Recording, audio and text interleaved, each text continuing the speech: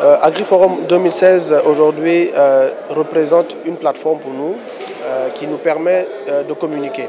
Communiquer sur la création de l'association qui regroupe un tas de, structures, d'entreprises et d'acteurs dans le domaine des fertilisants, mais aussi être visible et fédérer un, peu, comme je peux dire, fédérer un peu toutes les forces euh, toutes les personnes qui ne sont pas encore au courant, qui ne savent pas que l'association qui a été créée existe, afin qu'elles puissent se joindre à nous pour qu'on puisse travailler ensemble.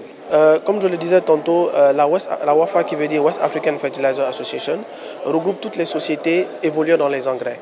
Donc je veux dire par là les producteurs, les importateurs, les mélangeurs, etc. Donc qui a un but ultime de promouvoir l'utilisation des engrais. Promouvoir l'utilisation des engrais de qualité, en quantité et accessible aux producteurs pour une agriculture durable.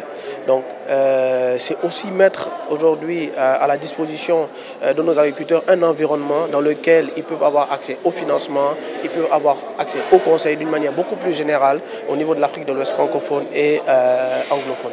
Donc les objectifs à court terme, je dirais déjà pour cette nouvelle année, nous avons le premier bureau exécutif dont je suis membre avant un mandat de deux ans.